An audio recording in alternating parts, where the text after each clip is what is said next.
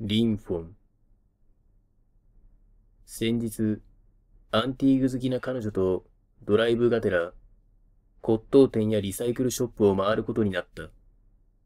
俺も、レゲエとか古着などが好きで、掘り出し物のファミコンソフトや古着などを集めていた。買うものは違いども、そのようなものが売っている店は同じなので、楽しく店を巡っていた。お互い、掘り出し物も数点買うことができ、テンション上がったまま車を走らせていると、一軒のボロっちい店が目についた。意外とこんな廃れた店に、お化けの九太郎ゴールドバージョンが眠ってたりすんだよな。浮かれる俺を、冷めた目で見る彼女と共に、俺は店に入った。コンビニ程度の広さの、ちんけな店だった。主に古本が多く、家具や古着の類はあまり置いていないようだった。ファミコンソフトなど、究極張り切りスタジアムが嫌がらせのように一本だけ埃をかぶって棚に置いてあるだけだった。もう出ようか、と言いかけたとき、あ、と彼女が驚嘆の声を上げた。俺が駆け寄ると、ぬいぐるみや置物などが積み込まれたバスケットケースの前で彼女が立っていた。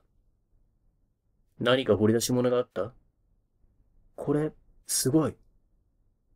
そう言うと彼女は、バスケットケースの一番底に押し込まれているようにあった、正二十面体の置物を、ぬいぐるみや他の置物にかき分けて、手に取った。今思えば、なぜバスケットケースの一番底にあって、外から見えないはずのものが、なぜ彼女に見えたのか。不思議な出来事は、ここからすでに始まっていたのかもしれない。何これ？プレミアモン？いや、見たことないけど、この置物買おうかな。まあ、確かに何とも言えない落ち着いた色合いのこの置物。オブジェクトとしては悪くないかもしれない。俺は、安かったら買っちゃえば、と言った。レジに、その正二十面体を持っていく。しょぼくれたじいさんが、古本を読みながら座っていた。すみません。これいくらですか？その時、俺は見逃さなかった。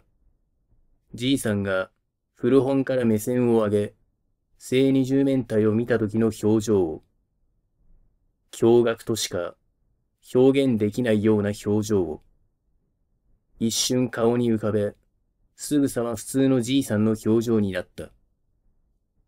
あ、ああ、これね。えっと、いくらだったかな。ちょ、ちょっと待っててくれる？そう言うと、じいさんは奥の部屋、おそらく自宅兼、に入っていった。奥さんらしき老女と何か言い争っているのが断片的に聞こえた。やがて、じいさんが一枚の黄ばんだ紙切れを持ってきた。それはね、いわゆるおもちゃの一つでね、リンフォンって名前で、この説明書に詳しいことが書いてあるんだけど、じいさんがそう言って、黄ばんだ汚らしい紙を広げた。随分と古いものらしい。紙には、例の正二十面体の絵に、リンフォンと書かれており、それが、熊、鷹、魚に変形する経緯が、絵で書かれていた。わけのわからない言葉も添えてあった。じいさんが言うには、ラテン語と英語で書かれているらしい。このように、この置物がいろんな動物に変形できるんだよ。まず、リンコンを両手で包み込み、おにぎりを握るように撫で回してごらん。彼女は、言われるがままに、リンフォンを両手で包み、握るように撫で回した。すると、カチッという音がして、正二十面体の面の一部が隆起したのだ。わ、すごい。その出っ張ったものを回してみたり、もっと上に引き上げたりしてごらん。じいさんの言われる通りに彼女がすると、今度は別の一面が陥没した。すごい。パズルみたいなもんですね。ユウもやってみたら？ユウは俺の継承。この仕組みを言葉で説明するのはすごく難しいのだが、トランスフォーマーというおもちゃをご存知だろうか？カセットテープがロボットに変形したり、拳銃やトラックがロボットに、という昔流行ったおもちゃだ。このリンフォンも正二十面体のどこかを押したり回したりすると、熊や鷹、魚などのいろいろな動物に変形する。と想像してもらいたい。もはや、彼女はリンフォンに興味津々だった。俺でさえ、すごいおもちゃだと思った。あの、それでおいくらなんでしょうか？彼女が恐る恐る聞くと、それね、結構古いものなんだよね。でも、私らも置いてあることすら忘れていたものだし、よし、特別に1万でどうだろう。ネットなんかに出したら、好きな人は数十万でも買うと思うんだけど、そこは、値切り上手の彼女のことだ。結局は、6500円にまで負けてもらい、ホクホク顔で店を出た。次の日は月曜だったので、一緒にレストランで晩飯を食べ終わったら、お互いすぐ帰宅した。月曜日、仕事が終わって家に着いたら、彼女から電話があった。ゆうくん、あれすごいよ、リンフォン。ほんとパズルって感じで、動物の形になっていくの。仕事中もそればっかり頭にあって、手につかない感じで、マジで下手なテレビゲームより面白い。と、一方的に興奮しながら彼女は喋っていた。電話を切った後、シャメールが来た。リンフォンを握っている彼女の両手が映り、リンフォンから突き出ている熊の頭部のようなものと足が二本見えた。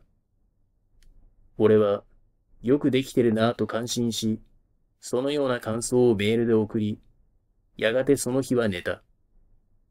次の日、仕事の帰り道を車で移動していると、彼女からメールが。マジで面白い。昨日徹夜でリンフォンいじってたら、とうとうクマができた。見に来てよ。という風な内容だった。俺は苦笑しながらも、車の進路を彼女の家へと向けた。なあ、徹夜したって言ってたけど、仕事には行ったの？つくなり俺がそう聞くと、行った行った。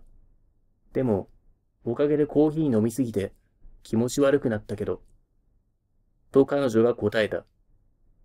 テーブルの上には、四つ足で少し首を上げた熊の形になったリンフォンがあった。おお、マジすごくないこれ。仕組みはどうやってできてるんだろう。すごいでしょ？ほんとハマるのこれ。次はこの熊から鷹になるはずなんだよね。早速やろうかと思って。おいおい、さすがに今日は徹夜とかするなよ。明日でいいじゃん。それもそうだね。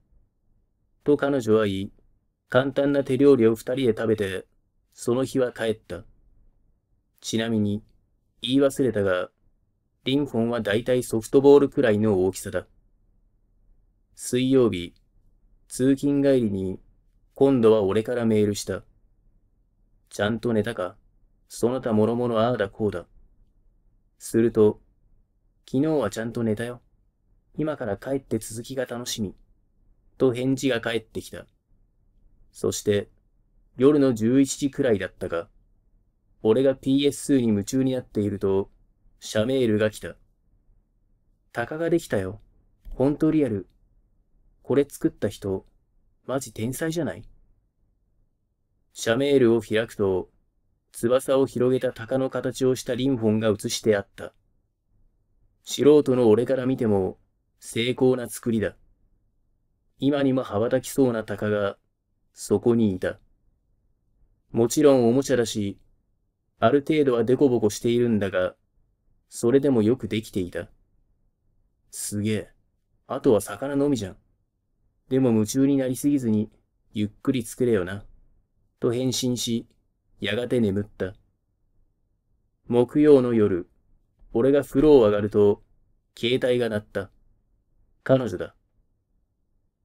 ゆうくん、さっき電話した？いや。どうした ?5 分ほど前から30秒間隔くらいで着信が来るの。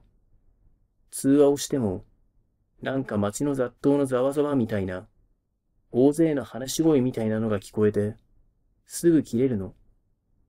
着信見たら、普通、番号が表示されるか、非通知か、講習とか出るよね。でもその着信見たら、かなたって出るの。こんなの登録もしてないのに、気持ち悪くて。そうか。そっち行った方がいいかいや、今日は電源切って寝る。そっか。まあなんかの混戦じゃない。ああ。ところでリンフォンはどうなった？魚は？ああ。あれももうすぐできるよ。終わったらゆうくんにも貸してあげようか。うん。楽しみにしてるよ。金曜日、奇妙な電話のことも気になった俺は、彼女に電話して、家に行くことになった。リンフォンは、ほぼ魚の形をしており、あとは背びれや尾びれを付け足すと、完成という風に見えた。昼にまた変な電話があったってうん。昼休みにパン食べてたら、携帯が鳴って、今度は普通に非通知だったんで、出たの。それで通話をしてみると、出してって、大勢の男女の声が聞こえて、それで切れた。やっぱ混戦かいたずらかな。明日、携帯ショップ一緒に行ってみる。そうだね。そうしようか。その後、リンフォンって本当にすごいおもちゃだよな、って話をしながら、魚を完成させるためにいろいろいじくってたんだが、なかなか尾びれと背びれの出し方がわからない。やっぱり最後の最後だから、難しくしてんのかなとか、言い合いながら、四苦八苦していた。やがて眠くなってきたので、次の日が土曜だし、着替えも持ってきていた俺は、彼女の家に泊まることにした。嫌な夢を見た。暗い谷底から、大勢の裸の男女が這い上がってくる。俺は、必死に崖を登って逃げる。あと少し、あと少しで頂上だ。助かる。頂上に手をかけたその時、女に足をつかまれた。連れてってよ。汗だくで目覚めた。まだ午前5時過ぎだった。再び眠りそうになかった俺は、ぼーっとしながら、彼女が起き出すまで布団に寝転がっていた。土曜日、携帯ショップに行ったが、大した原因はわからずじまいだった。そして、話の流れで、気分転換に、占いでもしてもらおうかってことになった。市内でも当たると有名な、猫おばさんと呼ばれる占いのおばさんがいる。自宅に何匹も猫を飼っており、占いも自宅でするのだ。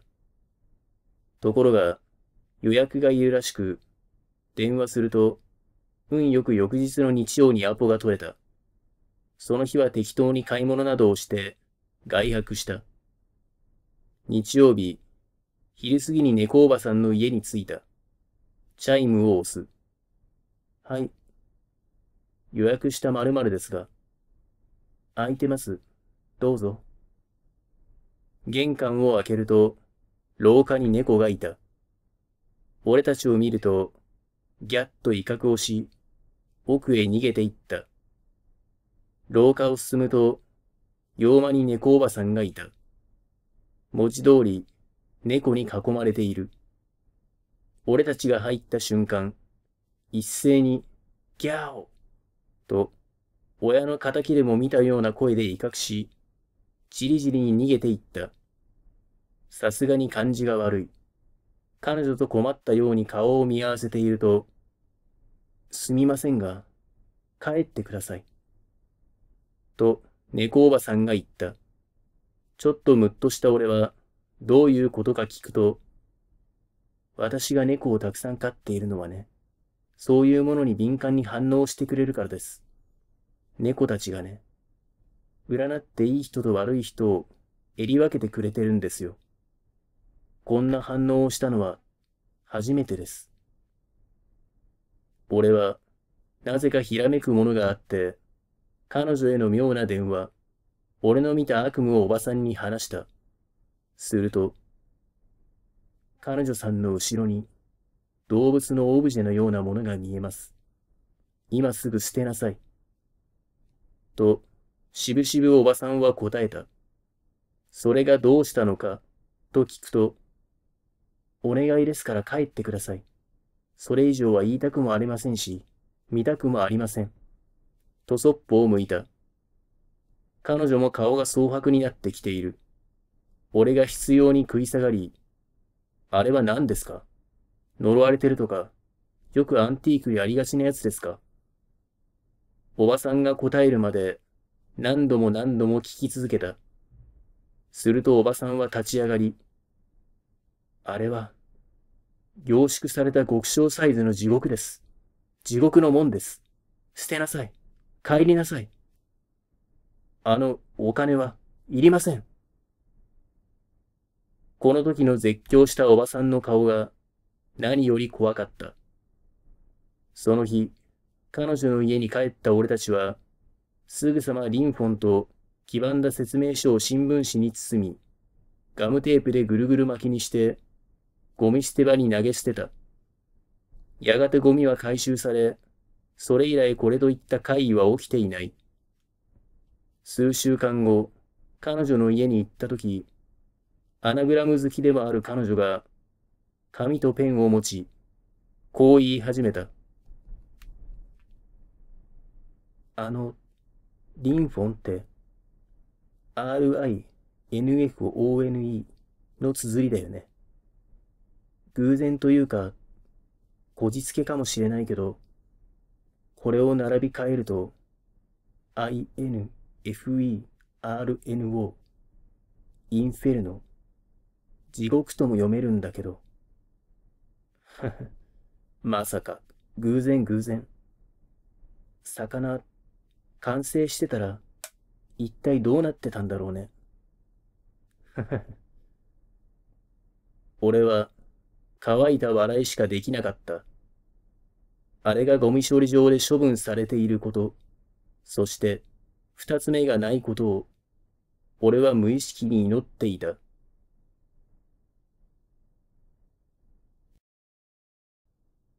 ミルクの実人形。これは、私が子供の時に体験した奇妙な話。私の父は、とにかく貧乏症で、近くのゴミ捨て場で、壊れた家庭用品やガラクタなどを見つけては、もったいないと家に持ち帰ってきた。家族はそんな父に呆れていたが、恥ずかしいからやめてと言っても、やめるような性格ではないのを知っていたから、諦めて父の好きにさせていた。父が拾ってくるのは様々なものだったが、中には、なんで拾ってきたのと言いたくなるような奇妙なものも少なくなかった。その中の一つが、あの人形だ。ある日家に帰ると、私と妹の部屋に見知らぬ人形が置かれていた。どうせまた父が拾って帰ってきたのだろう。私は、こんな汚い人形を拾ってくるなんて、とうんざりしながら、その人形を見下ろした。子供の腕にぴったり収まるような、よくある日本製のミルクの実人形。長いまつげに、くりくりの茶色い瞳。ミルクを飲むために、うっすら開かれた唇は、今にも何かを喋り出しそう。新品の状態だったなら、さぞかし愛らしい人形だったことだろう。けれど、前の持ち主がよほど手荒く扱ったのか、つるりとした白い頬には、黒いマジックでいたずらが気がされ、寝かせると、パチリと閉じるはずであろう、まぶたは片方、しかも、半分しか閉じることができず、片目が潰れたようなひどい顔になっていた。とても可愛いとは言えないそれを、なぜ父が持って帰ってきたのかわからない。私も妹も、もともと昔から人形遊びが好きだったから、部屋には他にも、リカちゃん人形やケースに入ったフランス人形、ぬいぐるみなど、たくさんの人形たちがずらりと飾られていた。その中に並べられた明らかに異質な人形。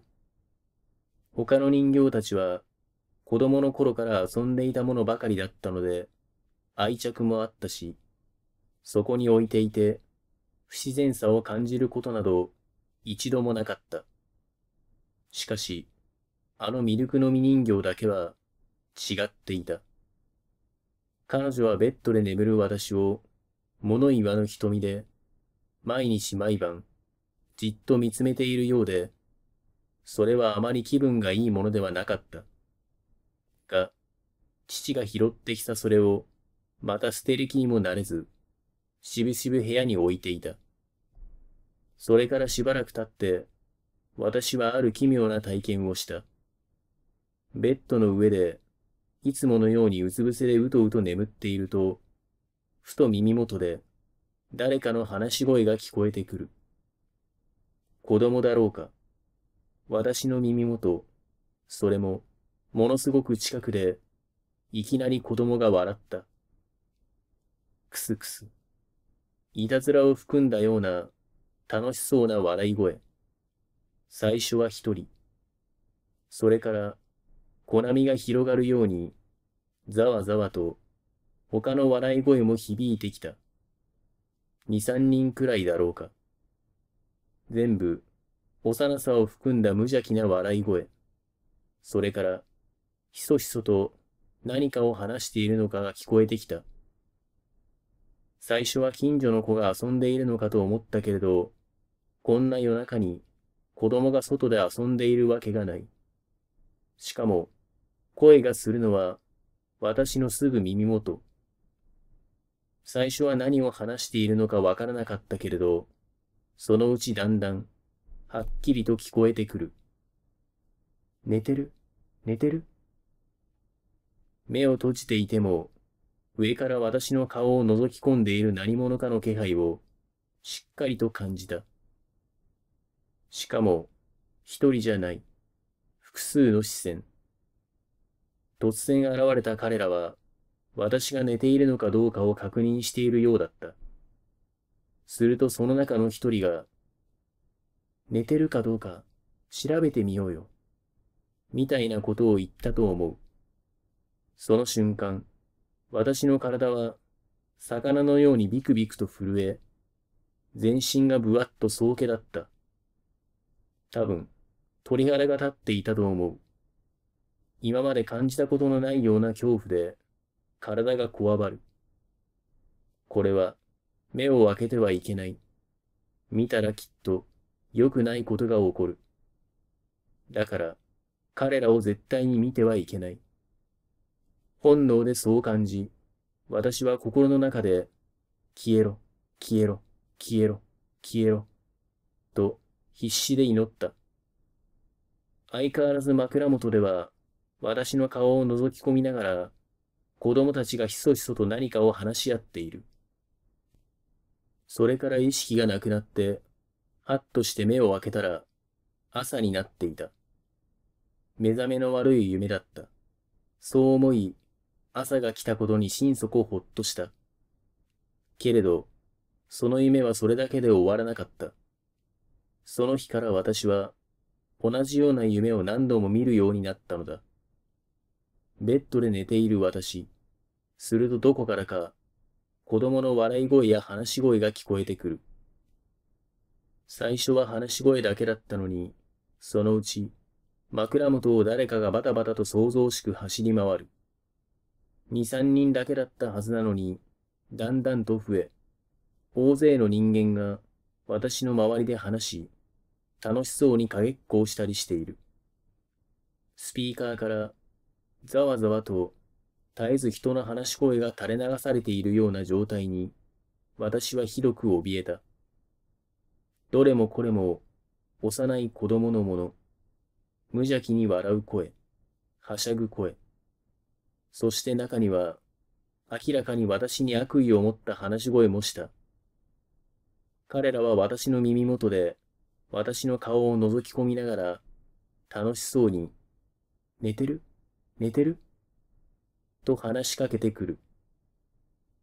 返事をしたらダメ。目を開けたら絶対にダメ。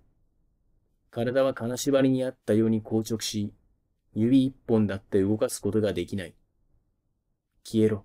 消えろ、消えろ、消えろ。私はブルブルと震え、恐怖と戦いながら、夢から覚めるのをただひたすら祈り続けた。また誰かが私のすぐそばを走っている。パタパタと複数の小さな足音が聞こえる。そんなはずはない。だって、私が寝ているのは二段ベッドの上。彼らは足音を立てながら空中を駆け回っていることになるのだ。そんな恐ろしい夢が続き、私も随分とひどいうつ状態になっていた。それがあれの仕業だと気づいたのは、昼間、うとうとと昼寝をしている時のことだった。寝ているような起きているような、半覚醒の状態で、私はまたしてもあの夢を見た。寝てる？寝てる？そろそろかな、そろそろかな、と話す子供の気配を感じ、私はなぜか、これはあの人形なんだ、と目をつぶりながら思った。なぜそう思ったのか、説明もつかないし、根拠もない。だけど絶対にそうだと思った。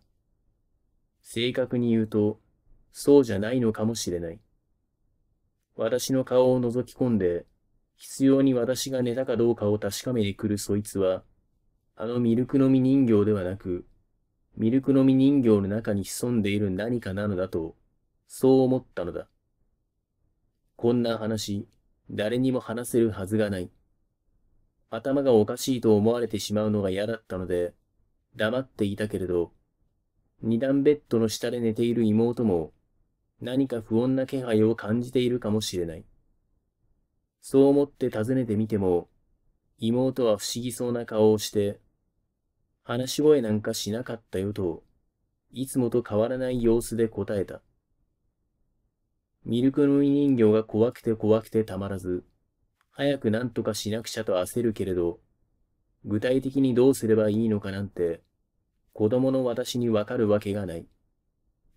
自分が狂ったのではないかと怯え、本当に頭がおかしくなりそうだった。どうして私だけが聞こえるのか、どうして私のもとにだけ彼らはやってくるのか。昔、ぼんやりとだけれど、女性の幽霊を見たことがある。もしかしたら、霊感というやつが、ほんの少しだけ私にあったのかもしれない。だから、闇の中に潜む何者かの気配を感じ取ってしまったのだろうか。数日経った日の夜、また彼らはやってきて、私の耳元でざわざわと話し始める。目を閉じていたので、実際見たわけではないけれど、気配で二十人くらいはいたと思う。とにかく、部屋中人の話し声で溢れ、耳を塞ぎたくなるくらいの想像しさだった。その中の五人くらいが、必ず私の枕元で、寝てる？寝てる？と話しかけてくる。私の顔を見ているのは、やはりあの人形だと思った。そいつは、子供の声でこう言った。起きてる？起きてるはずだよ。すると周りの声も反応して、起きてるよ。起きてるね。と一斉に話し出す。無邪気さの中には、はっきりとした悪意と感じた。そろそろいいよね。もう入ってもいいよね。入ってもいいかもね。入ってみる？入ってみようか。入ろうよ。入ろうよ。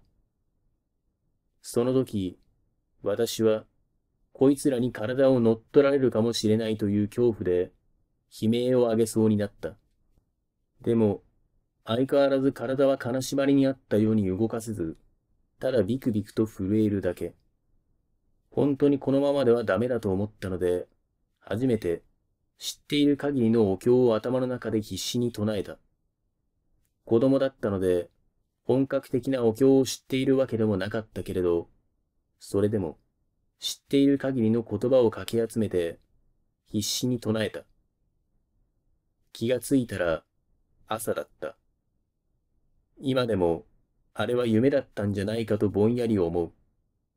いや、夢だったと思い込みたいのかもしれない。それからすぐに私たちが住んでいる借家が取り壊されることになり、私たち一家は新しい新築の家に引っ越した。あの人形はどうしたかというと、引っ越しのさなか消えてしまった。引っ越し作業に乗じて母が処分したのかもしれないし、もしかしたら、押し入れの中に今もひっそりとしまわれているのかもしれない。不思議なことに、新しい家に引っ越してからは、そうした怪現象が起こることもなくなった。古い家だったので、そういった何かも関係していたのかも。今思えばおかしな話だけれど、どうしても説明がつかない妙な体験だった。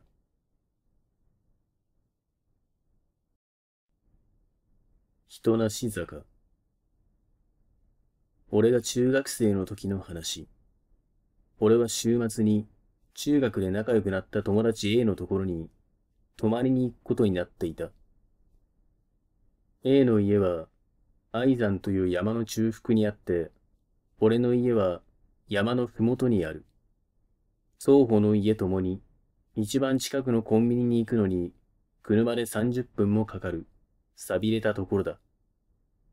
泊まりに行く前日に、A の家の場所がわからないので、山の地図を持って、A に家がどの辺りにあるのか教えてもらった。地図上で見れば、俺の家とはかなり近かった。が、A の家まで行くには、山の周りにある道路を沿って、ぐるりと遠回りしなければならない。その距離10キロ。真夏の暑い中、10キロも走るのか？と、少しげんなりしていた俺は、地図の中を走る一本の道を見つけた。その道は、俺の家から少し行ったところから始まって、山を一直線に登り、A の家のすぐ近くで終わっていた。長さは5キロほど。この道を使わない手はないだろう。こっちの道の方が近いやん。ああ、でもこの道な、舗装もされてないし、急やし、人も全然通らんからやめた方がいいで。通れるんやろ？うん、まあ、通れるけど、まあ、ええか。そっから来いや。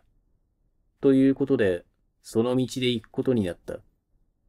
その晩、家族にこんな道全然知らんかったと、その道のことを話した。両親は、そんな道あったんやね、とかなんとか言っていたが、じいちゃんは、一人眉間にシワを寄せ、難しそうな顔をしている。どうやら、この道のことを知っているようだ。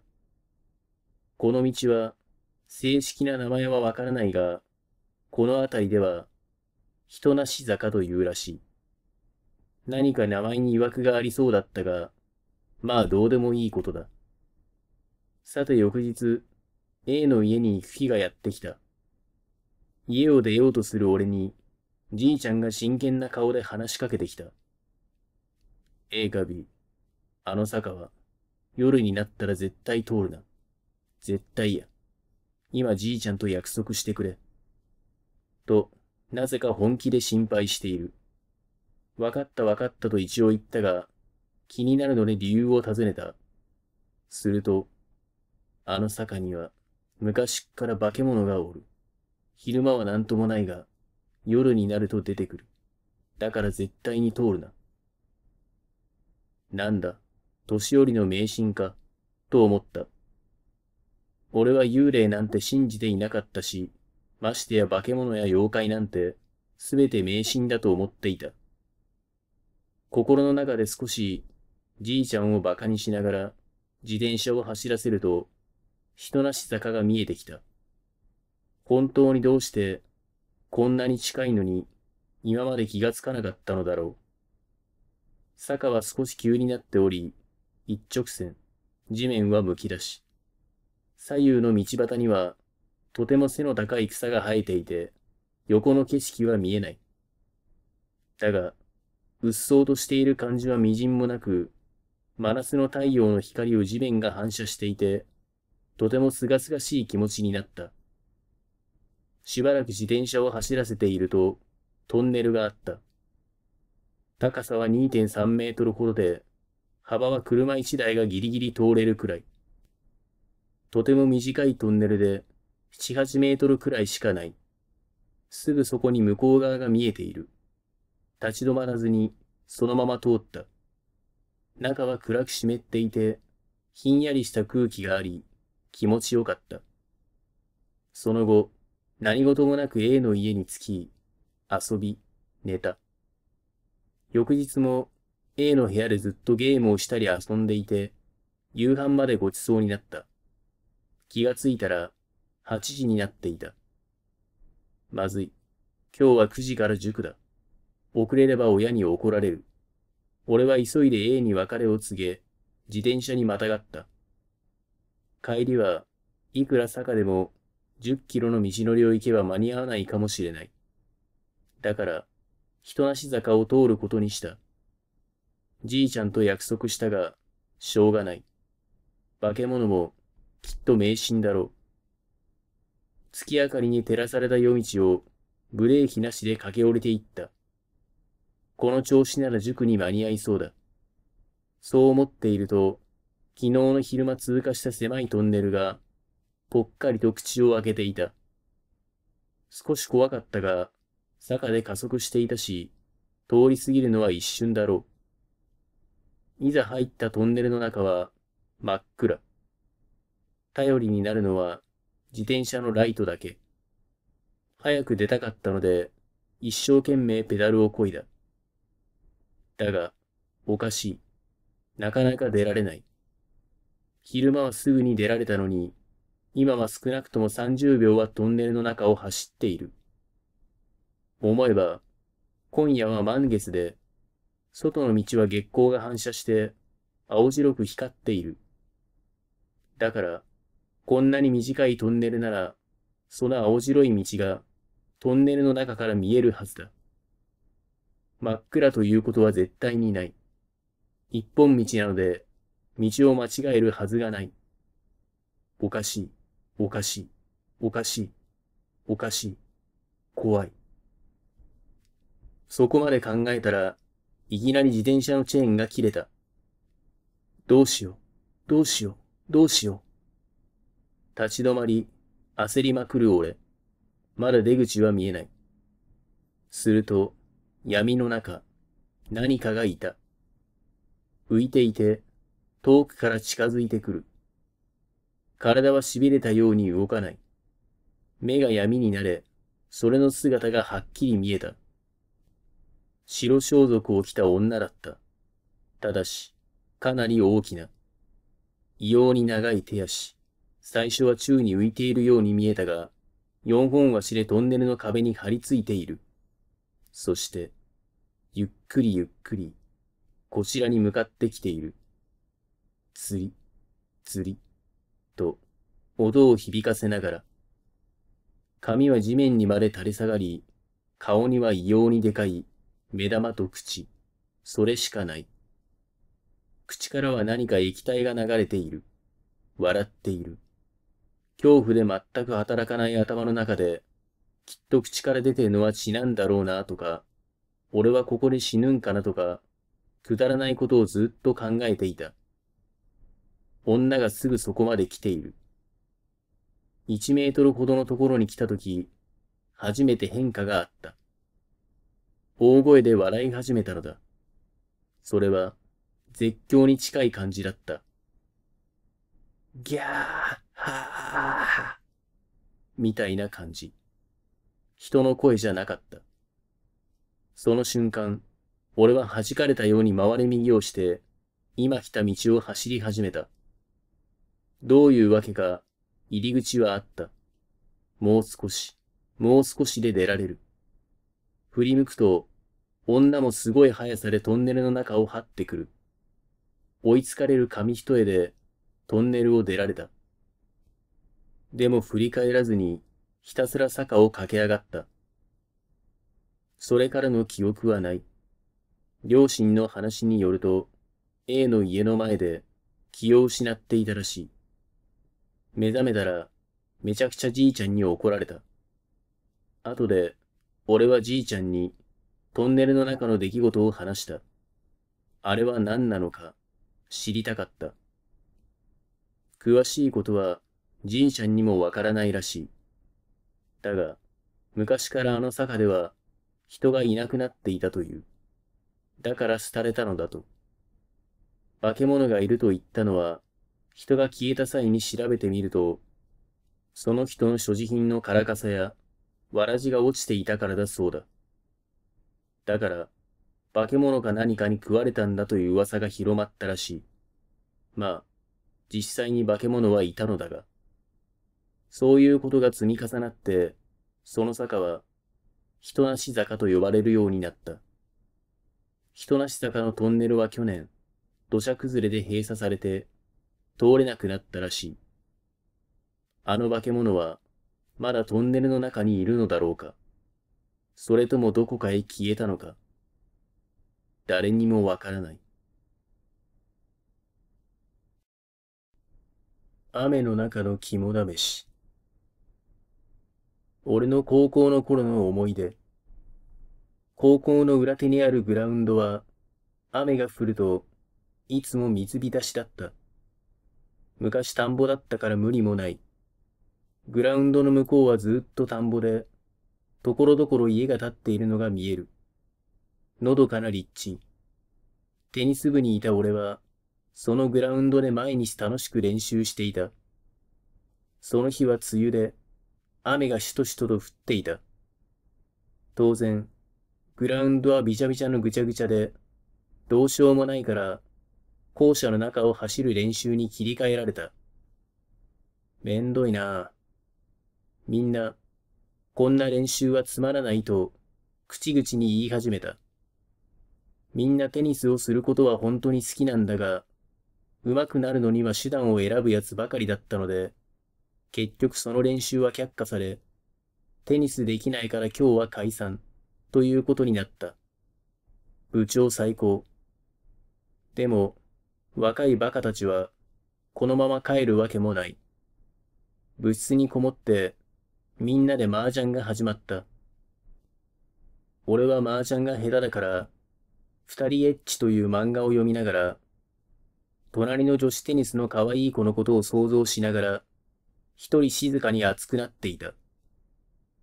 おい、肝試ししね。突然、おまるが変なことを言い出した。おまるは普段から変な遊びを提案しては、周りを面白がらせるやつで、結構面白かったし、何より、あだ名がおまるでいい感じだった。いいじゃん。やろうぜ。みんなバカだから、提案に乗る。どこでやんだよ。隣の女子の部屋に行ってくる。それ肝試しじゃねえだろ。エロ試しだろ。という感じで、場所は学校から裏のグラウンド、通称裏グラの外れにあるラグビーのゴール地点。名前は忘れた。まで行って、テニスボールを一つずつ置いて戻ってくるということになった。電気もない梅雨の夕暮れはちょっとゾッとする。雨もしとしとじゃなくて、ややザーザーと本降りになり始めている。女子も呼ぼうぜ。きっとこの雨でブラつけるぜ。神山がバカを披露する。ダメだよ。マネージャーかなんかが文句言ってくるに決まってんだろ。で、却下。じゃんけんの結果、俺は3番目、1番は小島、2番が青山、4番おまる、5番神山。いよいよ出かける際になって、なんだかみんなの顔が暗くなった。実際、本当にやる段になると、怖いんだよね。そんな暗い空気を破るように元気よく、じゃあ行ってくるぜ行く行く、と小島が出て行った。部長以下2年3年は、もう帰る準備をしている。お前らも肝試しなんて、ほんとバカだな。鍵なくすなよ。と言って、物質のスペアキーをおまるに渡した。雨がザーザー降る中、時計は5時半を回った。隣の女子も帰り始めた。他の部も、体育館使ってるやつや、文化系以外は大体帰り始めていた。校舎の方から、金管楽器の音が聞こえる。小島、川とかに落ちてねえかな。電信柱に突っかえてるかもよ。また稲中のネタかよ、おまる。15分も経っただろうか、小島が帰ってきた。小島、どうだった？幽霊いたか？うんこ踏んだか？小島は、別になんもねえよ。感想としては、やっぱグラウンドがヌルヌルしてるってだけだな。なんだよ、もっと面白いこと言えよ。サブ。うっせえな。じゃあ次はお前がやればいいだろ。この童貞が。うっせえ。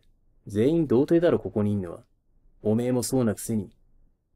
などと、たわいのない結果に終わり、青山が次に出て行った。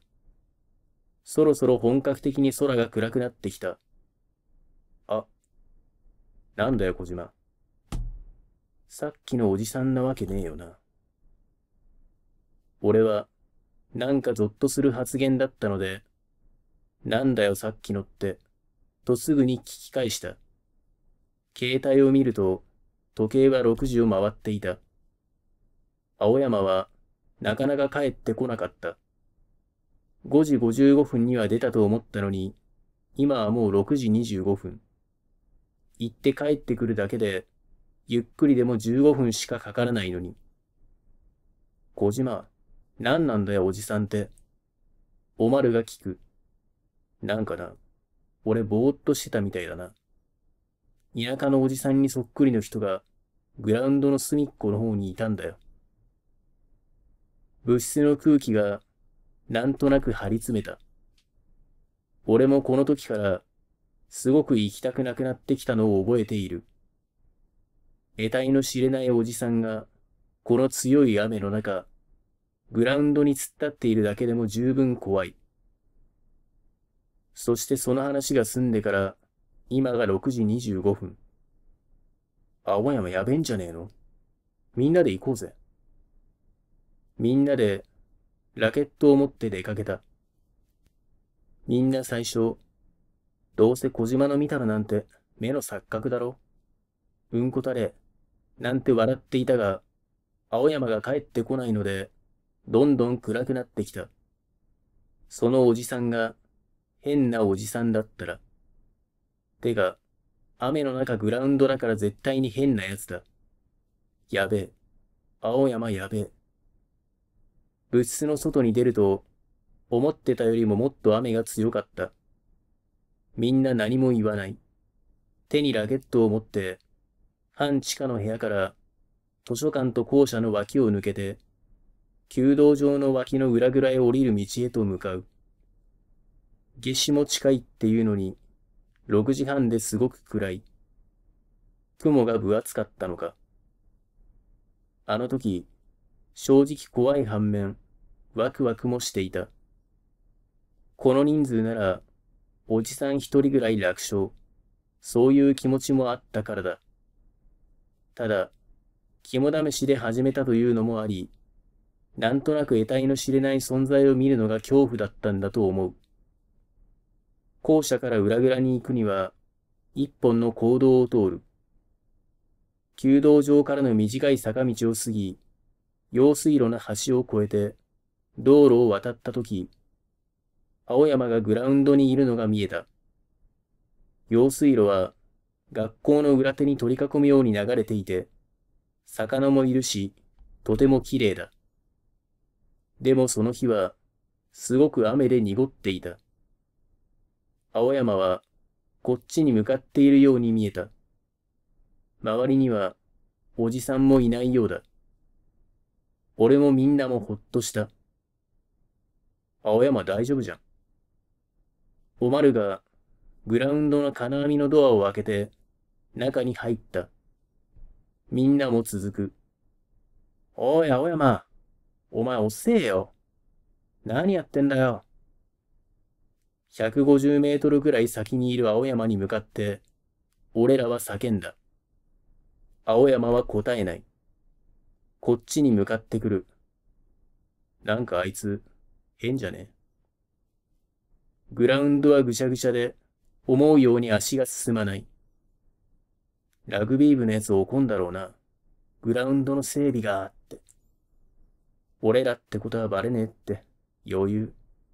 おい、青山突然青山が、うわ、あ、あ、やだ、やだ、やだ、あ、あ、と叫び出した。まだ100メートルぐらい先。みんな足を止めた。再び、俺らに恐怖が戻ってきた。正直逃げ出したかった。青山が泣いてあんな声を出すのを初めて聞いたからだ。しかも、誰に向かって叫んでいるのかわからないし、近くには何もいないように見えた。自然と、みんな周りを見回した。グラウンドの隅も見た。でもいない。誰もいない。青山の近くにもいない。青山は泣いている。また。ああ、ああ、もうやだ。やめて。と、ひいひいと喋っている。俺は、本当に逃げ出したかった。おまるが、おい、青山どうした？と、顔を真っ白にしながら、叫んで走り出したので、みんなも置いてきぼりは嫌だから、全力疾走で青山のもとへ向かった。雨が激しい。すごく暗い。何時だったんだろう。青山のところまで一気に近寄ってきて、俺らはぎょっとした。青山の足元の地面から手が出てる。それで、青山の足がその手にしっかり握られているのだ。こっちに向かおうとしているようで、なんだか様子が変だったのは、これだったのか。みんな何も言えない。これ外してくれよ。青山が泣いて俺に頼んだ。俺は離れて、その足元の手をじっと見た。心臓が変だった。頭も痛い。なんか視界が狭い。マネキン？マネキンの手。マネキンの手だった。でも、なんでグラウンドの真ん中にこんなものが突き出てんの？マネキンの手だと分かっていても、外すのは怖かった。青山も、肝試しでこういう目に遭わなかったら、こんなにも取り乱さなかっただろう。しかも、もう周りは真っ暗。雨の中、一人でグラウンドの真ん中で、マネキンの手に足を握られて動けないでいるなんて、怖すぎる。がっちりと食い込んでいた手は、5分かかってようやく外すことができた。青山は、ボールをゴール地点に置いたら、急になんだか怖くなって、ダッシュで帰ろうとしたら、いきなり足を取られたんだそうだ。それで、足元を見たら人間の手。相当ショックだっただろう。すぐにマネキンの手だと分かったものの、10分ほどもがいていても、動転していたせいか、取れない。きっと、よっぽどダッシュして突っ込んだんだろうな。それでパニックになったそうだ。変なおじさん見なかったか？小島が青山に聞く。わかんない。でももがいてるとき、きっと怖かったからだと思うけど、俺の方になんか来る足音が聞こえたよ。見たくなかったから目をつぶったけど、きっと気のせいだよ。青山は、みんなと会って、やっと少し落ち着いたようで、恥ずかしそうに喋った。もう帰ろう小島が言った。神山もおまるも俺も、そして青山もうなずいた。みんなでグラウンドを引き返そうとした。青山が何か聞いたっていうことに関しては、誰も何も触れなかった。触れる余裕なんてなかった。怖くてしょうがない。雨は、俺たちをズブズブのびしょびしょにしていた。なんでこんなことしちゃったのかな。肝試しなんてやめれやよかった。そう思いながら、青山を気遣って、みんな校舎の方を向いた。その時、俺たちは聞いた。ザシ、ザシ、ザシ、ザシ、ザシ、ザシ、ザシ、ザシ。これは、靴がドロドロの砂の上を歩く音だ。誰がすぐ後ろにいる。動けない。誰も動けない。俺らは絶叫した。グラウンドは300メートルぐらいで端から端まで行ける。ちょうど真ん中にいたから、金網のドアまでは150メートル。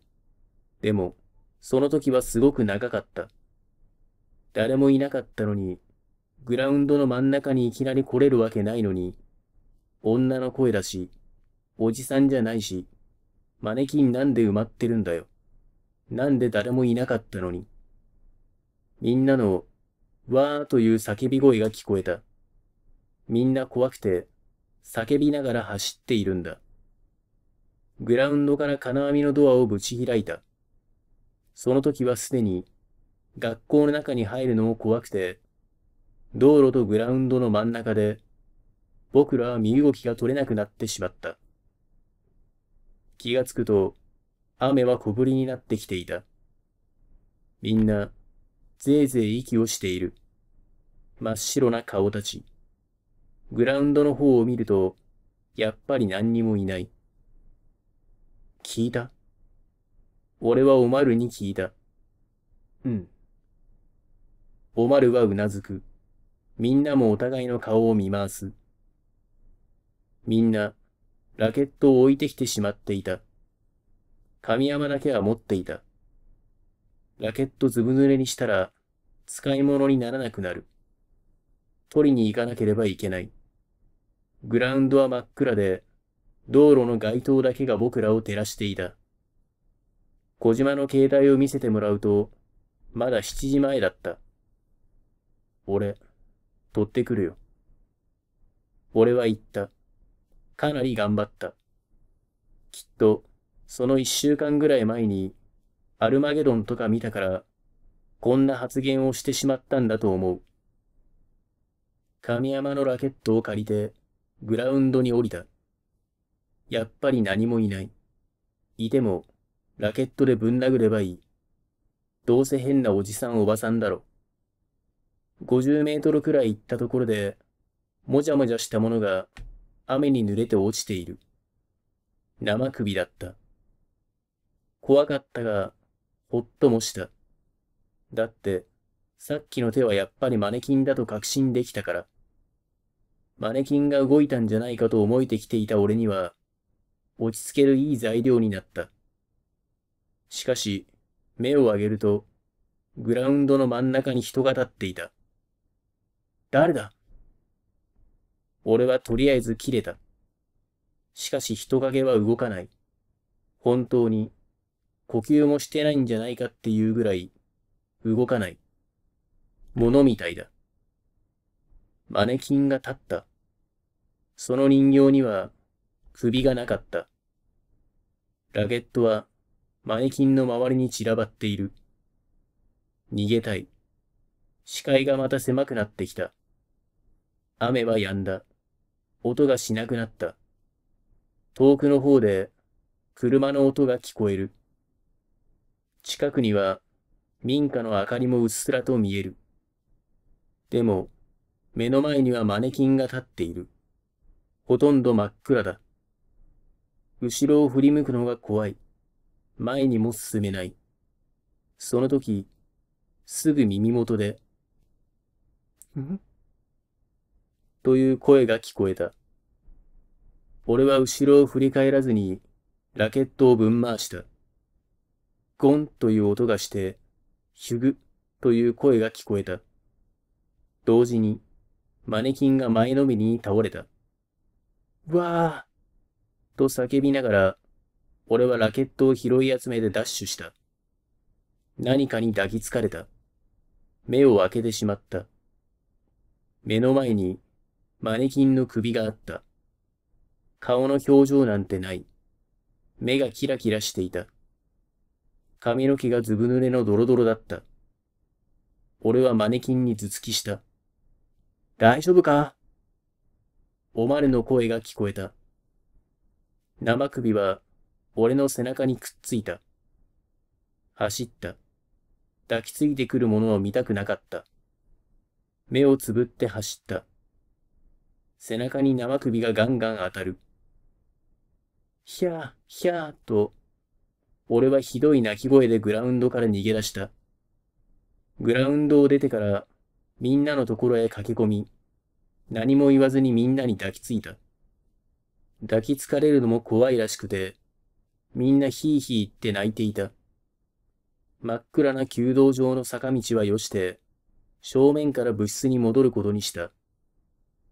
正門から部室に戻り、泥のついたジャージを脱いで、体を拭いた。みんな一言も言わない。そのまま帰ることになった。部屋の時計は7時45分ぐらいだった。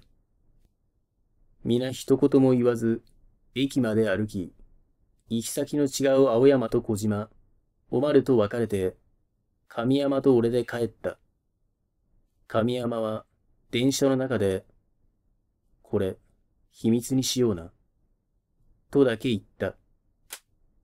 もうあれが何だったのかなんて、どうでもよかった。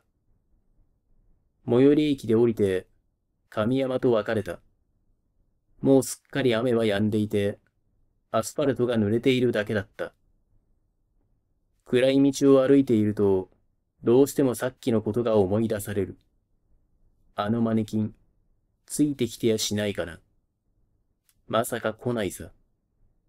俺は、とにかく家へ急いだ。何事もなく家にたどり着いて、ドアを開けるとき、ん？と聞こえた気がした。誰か後ろに来た。気がつくと自分の部屋にいた。朝になっていた。親父がドアの前で寝ている俺を見つけたらしい。別に怪我もなく、ただ寝ているだけだったから、そのままベッドに寝かせたらしい。後日、ラグビー部のやつに聞いて分かったことだが、あそこのグラウンドの近くに芸術家が住んでいて、ちょっと頭がおかしくて、たびたびあのグラウンドにも勝手に入ってきては、おかしなことをするところが目撃されていたらしい。人形を壊したり埋めたりするのもそうだ。なんで埋めるのか、ラグビー部の誰かが聞いたところ、埋まってるからと言われたらしい。何がと聞いても、埋まっているからとしか答えないので、それ以上は聞かなかったらしい。それからは、俺の周りで、あの声を聞くこともなかったし、友達にも全然何も起こらず、無事に学校を卒業した。でも、あの声は誰のものだったのか、今でも謎です。その芸術家のおじさんの声でしょうか。しかし、俺の家までついてきて脅かそうとするなんて、よっぽどラケットで殴ったことに腹が立ったのでしょうか。いずれにせよ、凝ったいたずらをされた気がします。グラウンドに伏せていて、誰もいないように見せたのでしょうか。マネキンを立たせるのはどうやったのか。マネキンの首だけ背中にくっつけていたのも、どうやったのか。俺らが異常に怖がりすぎたのか、いろいろな状況が重なって怖くなる環境が揃っていたとはいえ、未だにちょっと整理がつきません。でも、確実に言えることは、家のドアの前には、ぶっ倒れた俺と一緒に、マネキンの黒髪もバサッと残してあったということです。